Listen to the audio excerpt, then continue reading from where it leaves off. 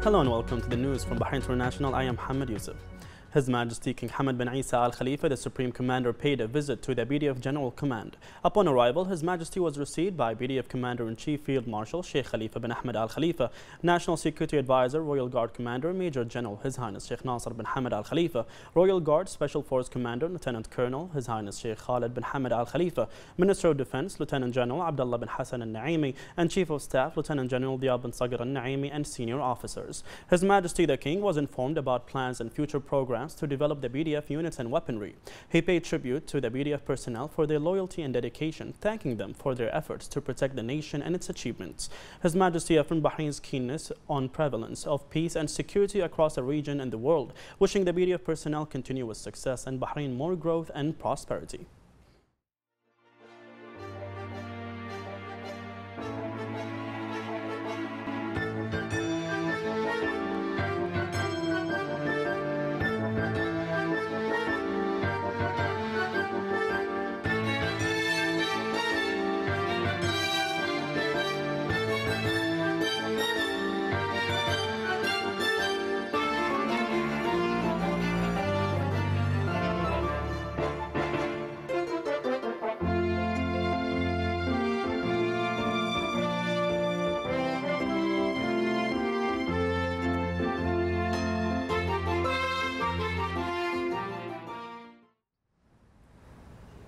His Majesty King Hamad bin Isa Al Khalifa issued Royal Decree 1 of 2022 amending some provisions of Decree 69 of 2004 on restructuring the Interior Ministry. In Article 1, the text of Item 11 of Decree 69 of 2004 shall be amended as follows. Customs Affairs, which includes the Customs President, who oversees the Directorate of Monitoring and Performance Follow-up, the Directorate of Communication and Strategic Planning, and the General Directorate of Customs Inspection and Security, which includes Directorate of Seaports Customs Customs, Directorate of Airports Customs, Directorate of Land Ports Customs, and Directorate of Customs Security followed by the General Directorate of Customs Clearance and Services, which includes Directorate of Customs Compliance and Risks, Directorate of Customs Licenses and Customer Service, and Directorate of Customs Clearance, followed by the General Directorate of Resources and Information Systems, which includes the Directorate of Training and Development, the Directorate of Financial Resources, the Directorate of Information Systems, and the Directorate of Human Resources and Administrative Affairs. In Article 2, a new item shall be added to Article 1 of Decree 69 of 2000 2004 and the rest of the items shall be renumbered accordingly as follows. The General Directorate of Verdict Enforcement and Alternative Sentencing, which includes Directorate of Alternative Sentencing, Directorate of Coordination and Legal Follow-up, and Directorate of Verdict Enforcement.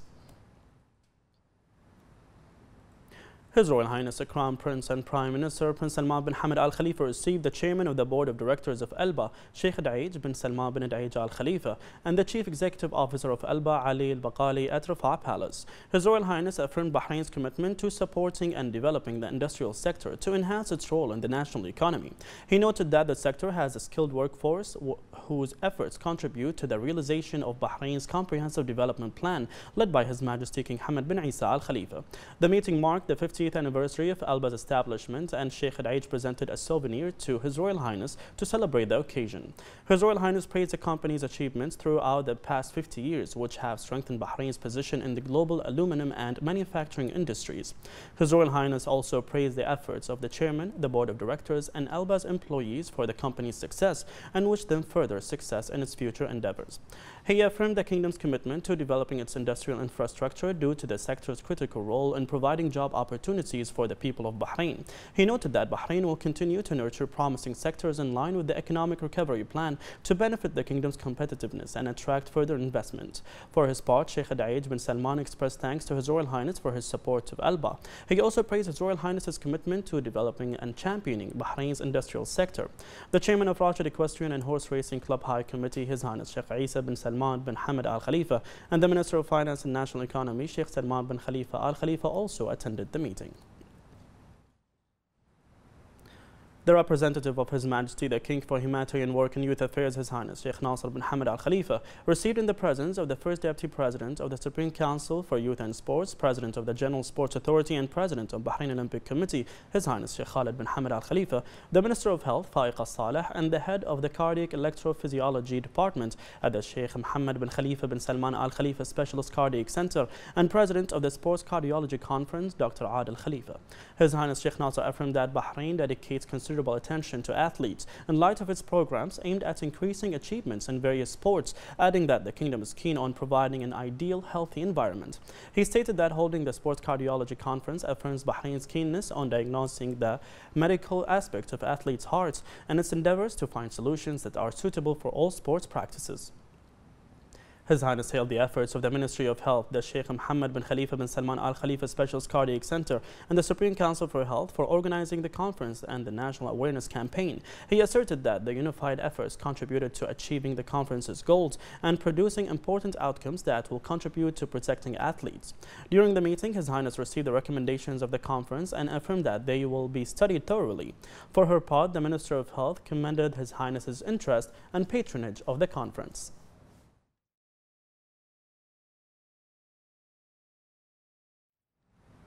The Council of Representatives held its weekly meeting chaired by its Speaker Fawzia Zainal. The Council approved a draft law adding a new article to the co Penal Code.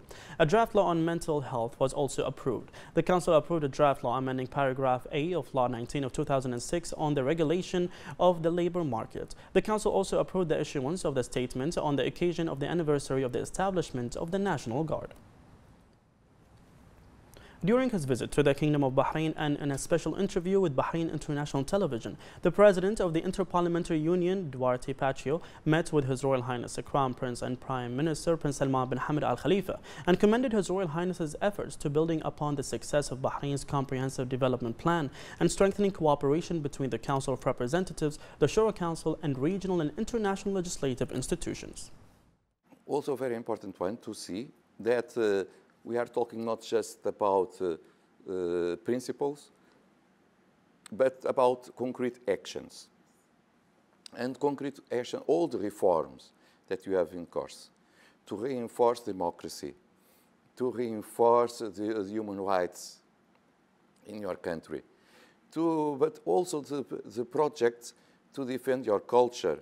Uh, His Highness showed to us that, uh, you know, quite well what is necessary to do.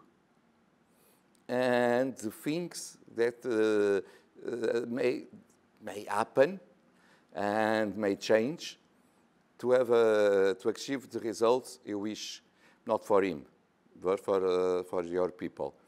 It was very important, and I believe that the cooperation, again, with uh, the parliamentarians and with your parliament will be very successful because uh, you see the, the, parliament as a partner, a partner that, that may uh, sometimes agree, sometimes disagree, but with, with open discussion, he will uh, identify the best route, uh, road to go. Uh, and this is what we believe also in IPU. During the same interview, the IPU president affirmed his commitment to approve the kingdom's request to host one of IPU's General Assemblies in 2023. You have a strong democracy with reforms. And allow me to say, reforms because it is always important to do it. Not because uh, the, the, the, model was a, a bad model, but because we have changed in our society. What is uh, today important will not be the same uh, in 2030, in 2040. So in 2040, of course, they need to adapt again because the reality is completely different of 2022. And so reforms are always important and your, uh, your leaders uh, has this open mind uh, as an open mind to do reforms, to adapt to the reality, and I just need to say, uh, to congratulate you because of that. The Minister of Works, Municipalities Affairs and Urban Planning, Engineer Essam Khalaf, paid an inspection visit to the development and service projects in the Southern Governorate, which comes within a package of projects supporting the objectives and comprehensive development process led by His Majesty the King. He affirmed the Ministry's continuous efforts to secure access to all sustainable development services in the kingdom, noting the government's keenness to continue communication between officials and citizens through field visits to fulfill their needs. The Minister indicated that work is underway to implement a number of development projects in the Southern Southern Governorate to achieve the aspirations of citizens, the improve of quality of life in residential areas. He also indicated that the project will serve residents and contribute to improving the quality of roads and maintaining the existing road network. The Minister of Industry, Commerce and Tourism Zayed Zayani opened the Ascon Control owned by Ahmad Group in the presence of the Indian Ambassador to the Kingdom of Bahrain, Piyush Srivastava. The Minister affirmed that Bahrain welcomes investments which contribute to boosting economic growth. Zayani highlighted the package of facilities of incentives granted by the government to bolster Bahrain's standing as an investment destination. He stressed the importance of the strategy which launched recently that aims to increase the contribution of the industrial sector in the GDP, boost exports, create rewarding jobs for citizens and support the transformation of the vital sector to enter the fourth industrial revolution. The inauguration ceremony was also attended by Ahmed Group General Manager Pampa Vasan Nair, Ascon Control Board members and other senior officials. The minister commended the standard of the factory, which is specialized in manufacturing electrical engines and generators and other power supply devices, which have been operating in Bahrain for 15 years.